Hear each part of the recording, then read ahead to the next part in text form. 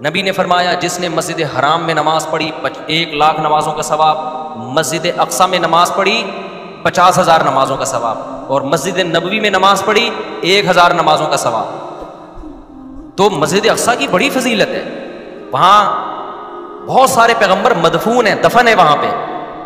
تو اللہ یہ چاہتے تھے کہ اپنے حبیب صلی اللہ علیہ وسلم کو اس فضیلت سے محروم نہ کریں۔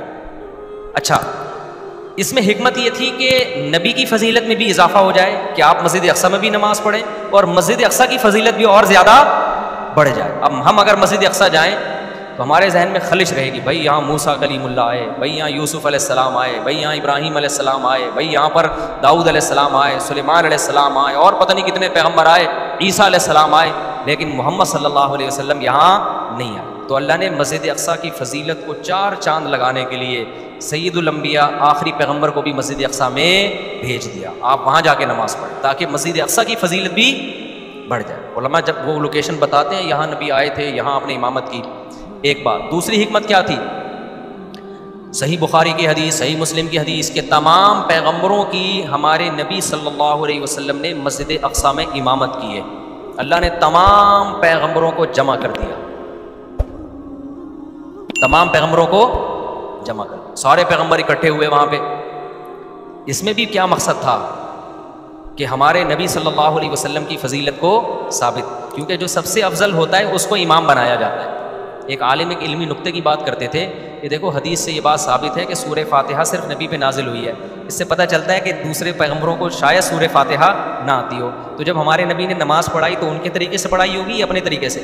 اپنے طریقے سے۔ تو فاتحہ نبی نے پڑھی، پیچھے سا پیچھے جو پیغمبر تھے وہ کیا تھے؟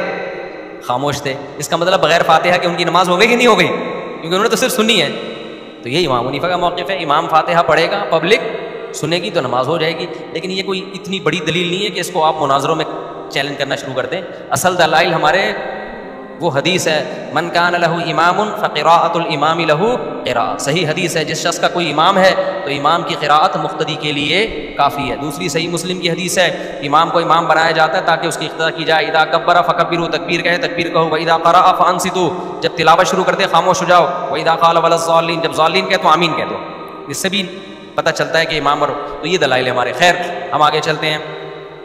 تو اللہ نے اپنے حبیب صلی اللہ علیہ وسلم کی امامت میں تمام پیغمبروں کو جمع کیا تاکہ عملی طور پر بھی رسول اللہ صلی اللہ علیہ وسلم کی فضیلت ثابت ہو جائے۔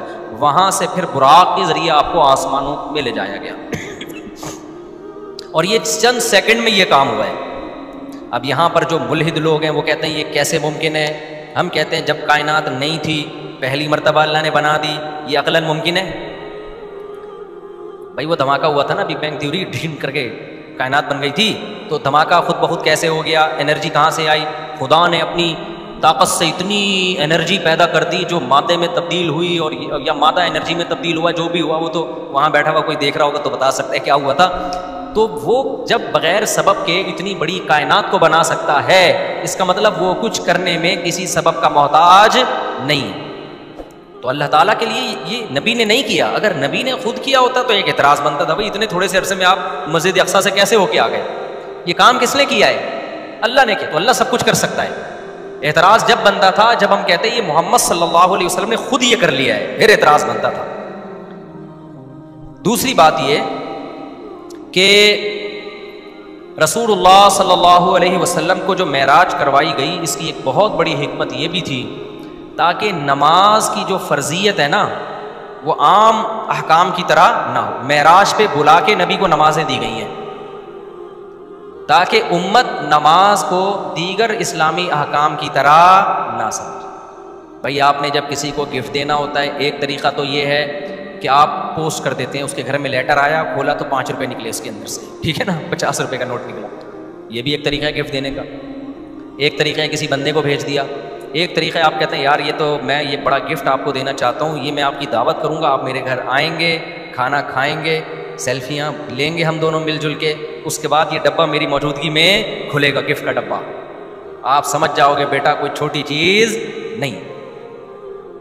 ویسے ہی اگر گفٹ دینے کے لیے بھیج دے، تو اس کا خالی ڈبہ ہی بھیج دے وہ۔ جب گھر بلا کے دیا جائے گا، تو چھوٹی چیز گفٹ نہیں دی جاتی۔ تو اللہ نے اپنے حبیب صلی اللہ علیہ وسلم کو اپنے پاس بلا کے نمازوں کا تحفہ دیا اور کیسے دیا؟ پہلے پچاس نمازیں فرض کی دیکھو، اللہ نے کرنی پانچ ہی تھیں۔ لوگ کہتے ہیں، اگر راستے میں موسیٰ علیہ السلام سے ملاقات نہ ہوتی تو وہ تو پچاس ہو جاتی، ہم تو بڑھ جاتے۔ اللہ نے پچاس دینی نہیں تھی۔ دینی کتنی تھی؟ پانچ ہی دینی۔ تھی لیکن ایک پروسیس کے تحت دینی تھی۔ یہ بتانا تھا کہ میں چاہتا تو یہ تھا کہ تم ہر وقت نماز ہی پڑھا کرو۔ ٹھیک ہے نا؟ پچاس کا تو مطلب یہی ہوتا نا۔ لیکن مجھے پتا ہے تم یہ کر نہیں سکتے، تو چلو پانچ کر لو، ثواب کتنے کا مل جائے گا؟ پچاس کا مل جیسے آدم علیہ السلام سے جو خطا ہوئی اور جنت سے نکلے، تو یہ تو پلاننگ تھی اللہ میاں کی پہلے سے، ٹھیک ہے نا؟ خطا نہ ہوتی تو جنت سے نہ نکلتے، جنت سے نہ نکلتے تو زمین پہ نہ آتے، زمین پہ نہ آتے، تو آزمائش کہاں سے ہوتی؟ تو پیدا تو کس کام کے لیے کیا تھا؟ آزمائش کے لیے۔ تو اللہ نے کہا، چلو شیطان کو تھوڑا سا برگلانے دو، آدم کو خطا کرانے دو۔ اللہ کو پتا یہ تو توبہ کر کے ٹھیک ہو جائیں گے، لیکن اس بہانے یہ جنت سے نکلیں گے۔ پھر ان کی اولاد کو میں بتاؤں گا کہ گناہ وہ چیز ہے جو آپ کو جنت سے نکالتا ہے۔ اور اگر گناہ ہو جائے تو توبہ وہ چیز ہے تو دوبارہ جنت میں لے جاتا ہے۔ اور یہ سبق بھی ملے گا کہ شیطان نے بھی غلطی کی، آدم نے بھی غلطی کی۔ شیطان کو حکم دیا سجدہ کر۔ شیطان نے کہا نہیں، آدم کو حکم دیا اس درخت کے قریب نہ جانا۔ آدم بھی چلے گئے۔ خطا دونوں سے ہو گئی نا۔ لیکن شیطان سے جب غلطی ہوئی، اللہ کو غصہ آیا تو شیطان غصے کے جواب میں توبہ کرنے کے بجائے اور اکڑ گیا۔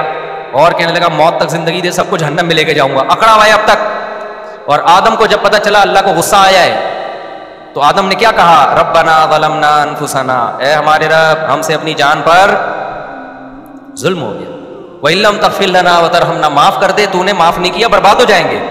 تم مچ تباہ رب اللہ کہتے ہیں، ایسی پسند آئی توبہ، ہم نے آدم کو دوبارہ منتخب بنا دیا. تو ہم شیطان کی اولاد ہیں یا آدم کی. تو کام شیطان والے کرنے یا آدم والے؟ ہمارے ایک دوست ہیں مسقط میں، انہوں نے کارڈ چھپوایا کہ اولاد آدم کی طرف سے حسن قرات کا انتظام کیا گیا ہے۔ ان کے دادا آدم نام ہے، ان کے دادا۔ تو ان کے دادا کی اولادوں نے کوئی حسن قرات کی محفل کا انتظام کیا نا؟ تو کارڈ آیا اولاد آدم کی طرف سے۔ میں حیران کہ یار، یہ آدم علیہ السلام کی اولاد تو پوری کائنات ہے یا کوئی نئے بچے دریافت ہوئے آدم علیہ السلام؟ ہو سکتا ہے کوئی پرانے غار میں سے نکلے ہوں، وہ آدم علیہ السلام کے جو سچی مچی کے قریب کے بچے ہوں، ان کی طرف سے انتظام۔ میں نے کہا، یہ اولاد آدم تو سب لوگ ہی ہیں، تو یہ آپ لوگ کیا انہوں نے کہا، ہمارے دادا کا نام تھا آدم. میں نے کہا، اللہ تعالیٰ آدم کی اولاد کو صحت و رافیت والی زندگی اور ایسے پروگرام انعقاد کرنے کی بار بار توفیق عطا فرما تو خیر، ہم کس کی اولاد ہیں؟ آدم کی، شیطان کی نہیں ہے، تو کس کے طریقے پہ ہم نے چلنا ہے؟ آدم کے غلطی سے بچنا ہے، ہو جائے تو کیا کرنا ہے؟ گڑ گڑانا ہے اللہ کے ساتھ۔ اے اللہ معاف کر دے، اے اللہ معاف کر دے، اے اللہ معاف کر دے۔ تو اللہ کہتے ہیں، سو بار گناہ کر کے، سو بار بھی توبہ کی، تو معاف، توبہ میں تاخیر ہو سکتی ہے۔ اللہ کی طرف سے معافی میں تاخیر نہیں ہوگی۔ تو یہ بھی حکمت تھی۔ خیر، تو اسی طرح جو رسول اللہ صلی اللہ علیہ وسلم جب معراج پہ گئے نا، تو اللہ نے جو پانچ فرق پچاس فرض کی تھیں اللہ کو پتا تھا، یہ نہیں پڑھیں گے پچاس نمازیں۔ نماز، شادیاں کس وقت کریں گے؟ پھر یہ اگر پچاس نمازیں پڑھیں گے۔ چار چار شادیاں بھی تو کروانی ہے نا۔ بچے بھی پلوانے ہیں ان سے۔ تو تو ہر وقت بابوزو رہیں گے، یہ تو پھر کیا خیال ہے؟ ان کا تو وضو ہی نہیں ٹوٹے گا کبھی۔ تو اللہ میاں نے موسیٰ علیہ السلام کے دل میں ڈالا کہ یہ پچاس نمازیں لے کر آ رہے ہیں۔ نبی صلی اللہ علیہ وسلم، لیکن حضرت موسیٰ کے دل میں اللہ نے ڈال دیا کہ کیا کرنا؟ اعتراض کرنا۔ حضرت موسیٰ سے ملاقات ہوئی، کیا دیا گیا؟ آپ نے فرمایا کہ پچاس دی گئی ہیں۔ حضرت موسیٰ نے کہا، میری امت پر تو اس سے کم نمازیں فرض ہوئی تھیں وہ پوری نہیں کر سکے۔ آپ کی امت کیسے کرے گی؟ ہوتے ہوتے کم کرتے کرتے کتنی ہو گئیں؟ پانچ نمازیں۔ تو حضرت موسیٰ علیہ السلام سے اللہ کرے ہم سب کی ملاقات ہو، جنت میں ہم سب ان کو مبارکباد دیں گے۔ حضرت، آپ کا بہت بہت شکریہ۔ کیا خیال؟ تو لیکن حضرت موسا سے ایک دفعہ بات کر کے نا ہٹ جانا، کیونکہ بہت زیادہ جلالی پیغمبر ہیں۔ میں نے بتایا تھا نا، موت کا فرشتہ آیا انسانی شکل میں۔ حضرت موسا نے پوچھا کیسے آنا ہوگا اس نے کہا، آپ کی روح قبض کرنے۔ حدیث ماتے کھینچ کے تھپڑ لگایا، اس کی آنکھ نکل کے گر گئی بھاگا ٹھیک ہے۔ جلال بہت تھا۔ اپنے بھائی ہارون کی داڑھی پکڑ کے کھینچا تھا نا۔ کہ یہ قوم کیا کر رہی ہے؟ تو خیر، تو یہ معراج میں بہت ساری حکمتیں تھیں، بہت ساری۔ پھر رسول اللہ صلی اللہ علیہ وسلم کے اس معجزے کو اللہ نے ثابت بھی کیا۔ مشرقین نے پوچھا کہ آپ کیسے دعویٰ کرتے ہیں؟ اگر آپ گئے ہیں تو بتائیں مسجد اقسا کیسی ہے؟ آپ صلی اللہ علیہ وسلم نے فرمایا کہ مجھے پورے طور پہ، کیونکہ ایک دفعہ جب کوئی شخص ہو کے آتا ہے، اسے پورا تھوڑی یاد ہوتا ہے کہ کون سا ستون کدھر ہے اور کون سی جگہ کدھر ہے۔ لیکن مشرقین نے پروپیگنڈا شروع کرنا شروع کر دیا۔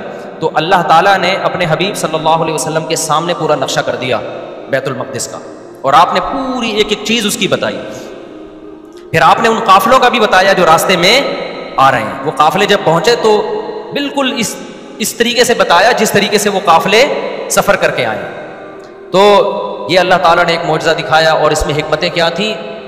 یہ ثابت کرنا کہ یہ پیغمبر تمام پیغمبروں سے افضل ہے